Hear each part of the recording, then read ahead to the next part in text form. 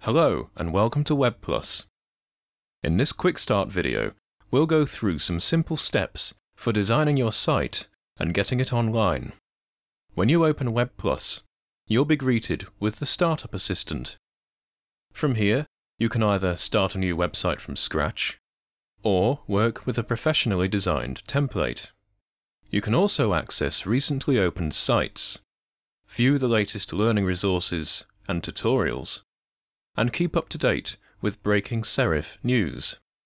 You can also set up web hosting from the Startup Assistant, which you'll need to get your site online. Click the arrows on the initial page of the Startup Assistant until you see the serif hosting page, and then click Go to get started. We'll look at hosting in a little more detail later. You don't need to start from scratch with WebPlus. Today, we're going to look at creating a website from a design template.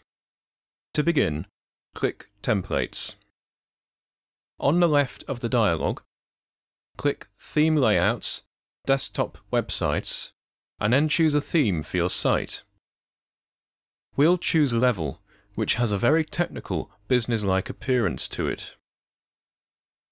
If you want to, you can select a different colour scheme from the drop-down list. You can also uncheck any pages that you don't want in your site, then click OK. Your website will appear in the workspace. Let's start customizing it. The Pages tab on the right is really useful for quickly accessing other pages in your site. Double-click a page's name to display it in the workspace. To add a new page, click the down arrow next to Add New Page or Link, and click New Blank Page. Following the technical theme, let's call the page Research. Then click OK. As you can see, our new page is added to the Pages tab. This green icon, where the navigation bar should be, indicates that the text on the navigation bar has overflowed. We can fix this by resizing the navigation bar, excluding pages from navigation, or even removing pages from the site. As one solution, let's remove the gallery page from the site. To delete a page, double-click it to select it in the Pages tab, and then click Delete Page. When WebPlus asks if we really want to delete the page, click Yes. Now the navigation bar can be displayed again. You can also rename web pages easily. Right-click your chosen page and select Page Properties. Type the new name of your page, and then click OK. Now our navigation bar is sorted, let's edit some of the content in the themed layout. We'll start with the title. Click the title on the page to select it. These buttons below indicate that the object is on a master page. Objects on master pages will appear on every page in the site. Click Edit on Master Page below the title to quickly access the master page. We can now triple-click the text and give our site a new title.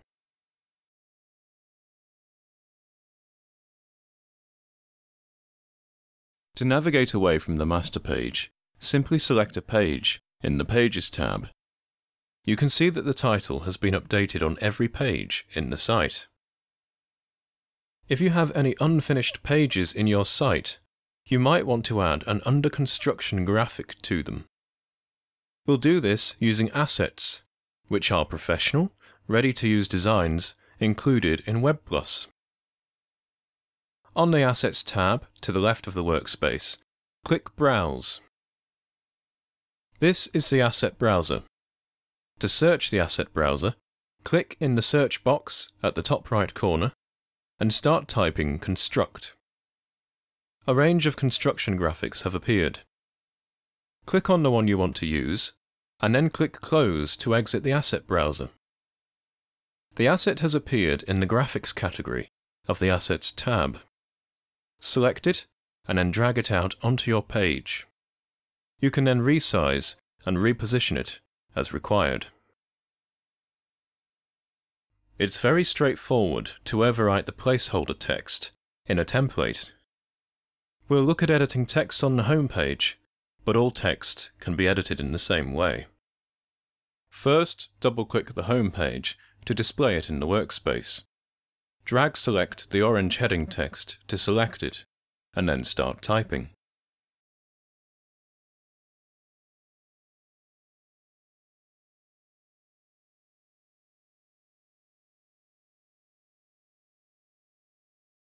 You can also edit paragraph text. Drag select a text frame to select a paragraph, and then start typing to replace the placeholder text.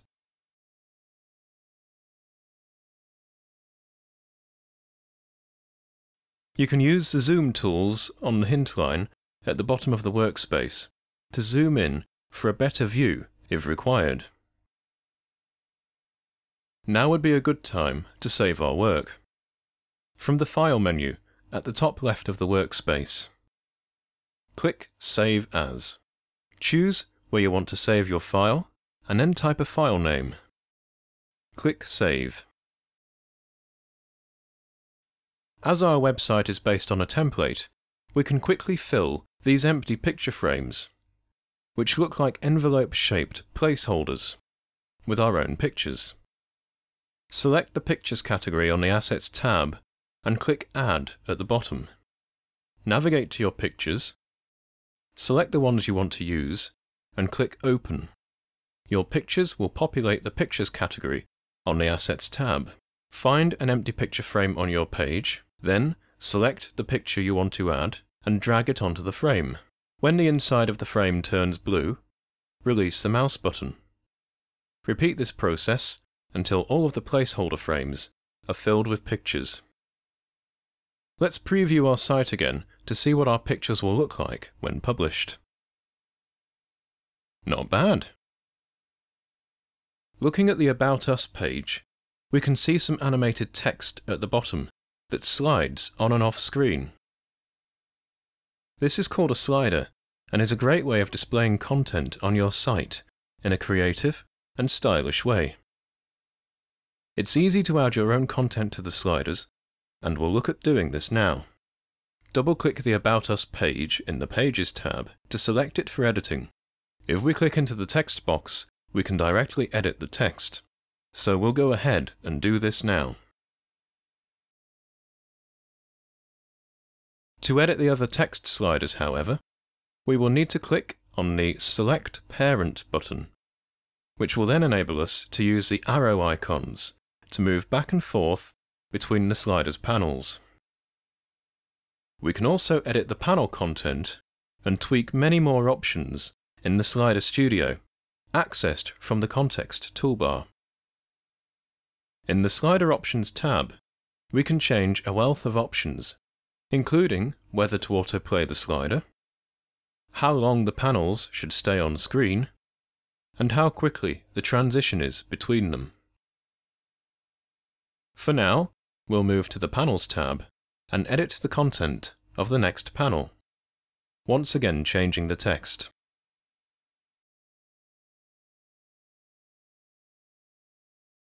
We can then close the Slider Studio by clicking the Close button in the top left. You'll probably want to preview your site again to see the slider in action.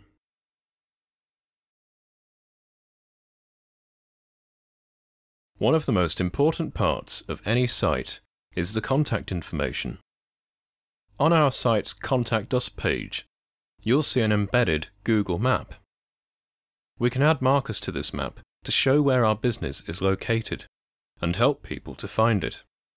Double-click the Google map to get started. The Edit Google Map dialog will appear. Type your postcode or zip code into the Search for a Location field and then click Search. You can click and drag on the preview map on the right to move it if you need to, or use the map controls. To add a marker, click Add in the Map Markers section.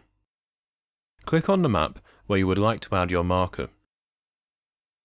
If you accidentally add it in the wrong place, click Move and then click your point on the map again. Give your marker a name and click OK. Then OK again to exit both dialogues. The map preview will update accordingly. Note that the marker will only appear when you preview your site using the built-in preview or an external web browser. Using the techniques we've learnt so far, try editing the placeholder content on the other pages of the site. Have a look at the other Web Plus videos if you get stuck. When you're happy with your site, it's time to give it a worldwide audience and upload it to the internet. We'll look at uploading with Serif web hosting, but feel free to use a different hosting provider if you want to. Let's begin on the standard toolbar at the top of the workspace. Click the down arrow next to Publish Site and select Publish to Web. This is the Publish to Web Get Hosting dialog.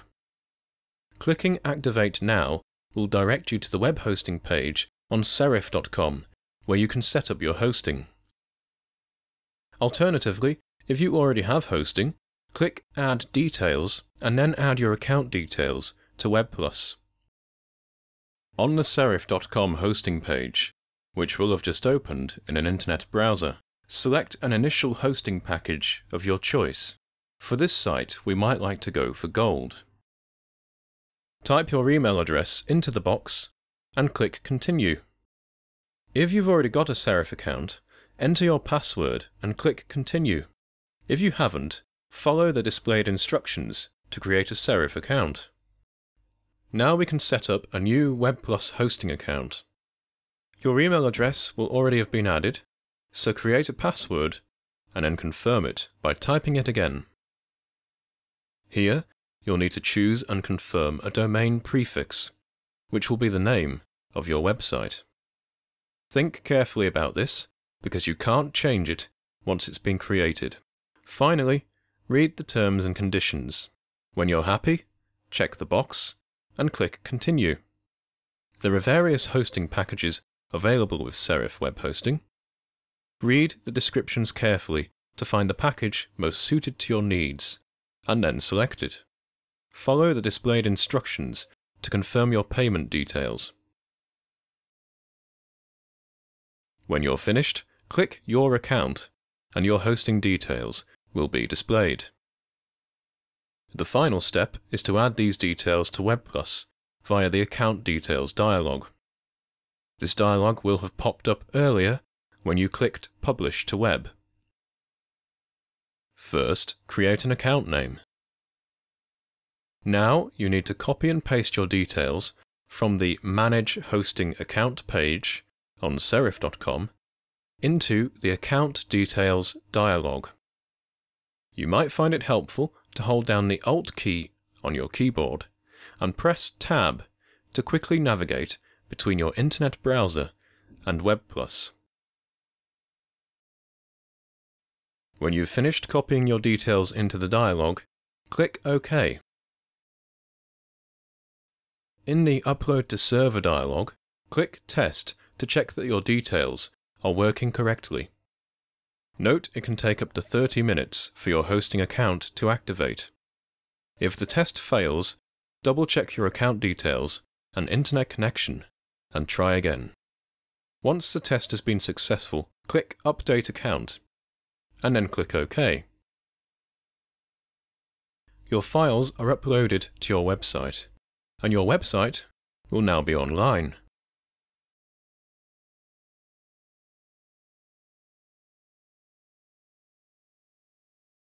Once your site is finished uploading, click Close. At this point, you can choose to preview the site at its live web address by clicking View this URL. That's all for this quick start video. To find out more about WebPlus, see the Learn section of the Startup Assistant. Thank you for watching.